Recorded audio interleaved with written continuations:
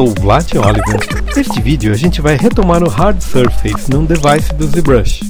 Para quem não está entendendo nada, essa parte é um complemento dos vídeos baseados no trabalho do Machiev Kutiara, porque ele não trabalha com o ZBrush. Aqui a gente mistura a bagaça toda. Aprende a parada. Bem, nesse vídeo a gente vai continuar exatamente da onde a gente parou no vídeo de Hard Surface 8, ok? Vejam, eu vou dar um Shift F e a gente vai ver que os cortes são até semelhantes aos cortes que eu fiz. A única diferença é eu dei um Ctrl D nessa esfera antes para eu ter uma malha mais fechada, ok? Como nós já fizemos as, os primeiros ensaios, eu não vou me ater a fazer tudo de novo aqui e vocês podem fazer com a cara de vocês essa bolinha Pokémon aqui, ok? Vamos lá. É, uma coisa que a gente pode fazer para dar continuidade ao nosso processo, veja, se eu venho aqui, vamos admitir que eu vou cortar de vez esse objeto, ok? Há uma possibilidade que é a seguinte: Vejam, se eu venho aqui, o Mirror and Weld, ele é... O que aconteceu quando eu dei o mirror? Na verdade, quando eu dei o mirror, a peça foi espelhada neste eixo aqui, ok? Vejam, se eu mudo para x e y, por exemplo, se eu mudo só para y, se eu mudo só para z, a gente vai tendo posições diferentes. Ok? O que eu estou fazendo? Na verdade, eu passei por todos os mirros aqui.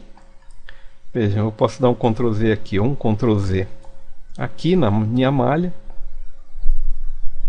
E estou apenas querendo mostrar para vocês a continuidade dos recursos, ok? Vejam, a gente tem que ser criterioso para trabalhar com esse Mirror and Weld aqui. E o ideal seria ter trabalhado todo esse material, é, os cortes na lateral. Enfim, vamos continuar exercitando aqui algumas ferramentas.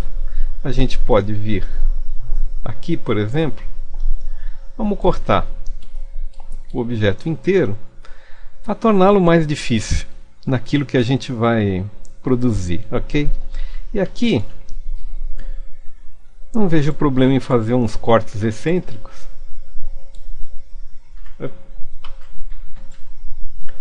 Com dois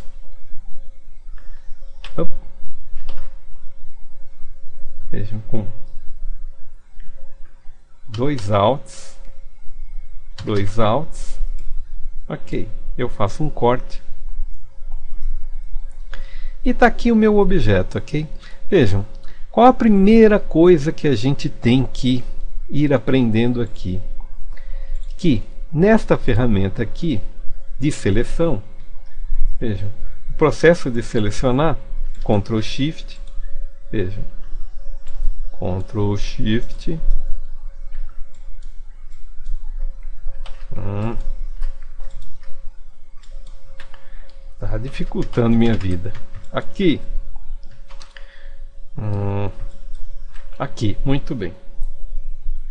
Se eu vou lá fora, aqui, uma hora ele, ele deixa eu. Pronto, é isto. Não é muito fácil é, de a gente adquirir uma determinada competência aqui para fazer esse tipo de coisa. Muito bem, a gente vem no Polygroups e dá um group visible. E com isto eu tenho estes objetos selecionados. Vamos fazer a mesma coisa aqui. Vejam, aqui e aqui. Vai ficando mais fácil ao longo do tempo. Quando eu viro aqui, é, este aqui eu não quero, vou deselecioná-lo, vou ficar só com este. Group Visible do mesmo jeito clico lá fora. O processo de trabalho é meio trabalhoso mesmo, ok? Vejam, para selecionar Se eu venho aqui fora, eu seleciono todo mundo. Aqui eu vou desselecionando estes objetos todos. Oh, caramba! Pronto. Vou lá fora e posso dar um group visible, ok? Vejam. Pronto.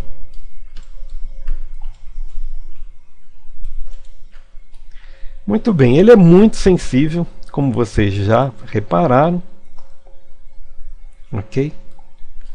E a gente tem uma certa dificuldade de fazer determinados ajustes. Muito bem, esse é o processo de trabalho aqui. Uma coisa que a gente pode fazer é, no Geometry, nós vamos fazer no momento certo do Edge Loops, é se a gente vem aqui e... Opa! Difícil. E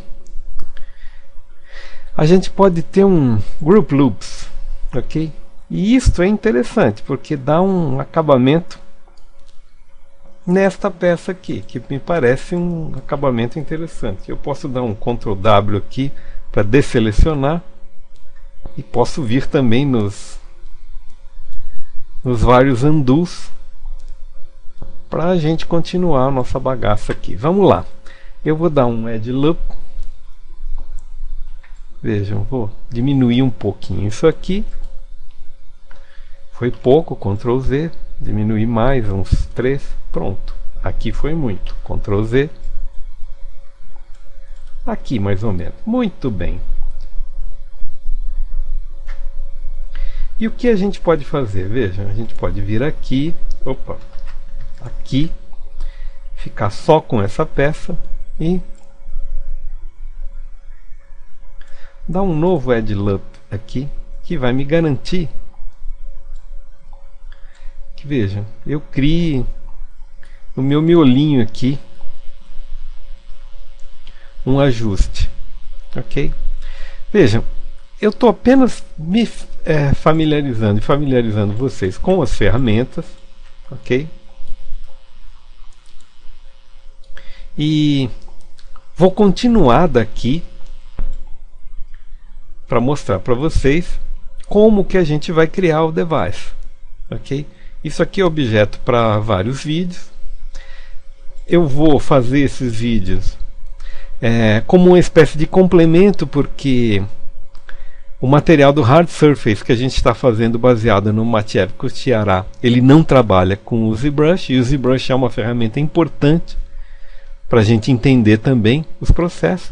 E é por aí. Nos vemos no próximo vídeo. Isso é um treinamento. Seu uso faz pokebola com estilo. Se mete na coisa.